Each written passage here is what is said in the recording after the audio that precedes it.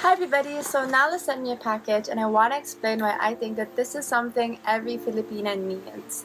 So January I had my first shoot of the year and I did know that my period was coming in a few days.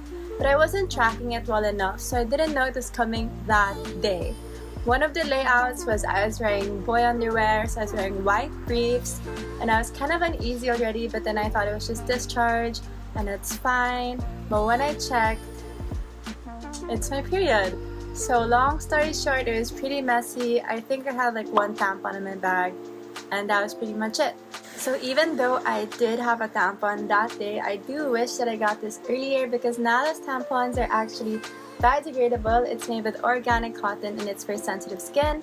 They also sent me their pads. So what's good about them is that their products has breathable technology, is clinically tested, and anatomically shaped. So by now you can already tell that Nala's products are period perfect. It is planet kind and woman kind.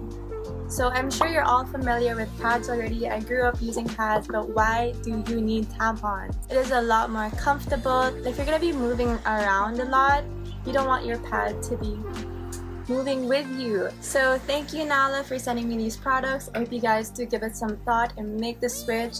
It is planet kind womankind. I hope you guys learned a thing or two and check Nala out.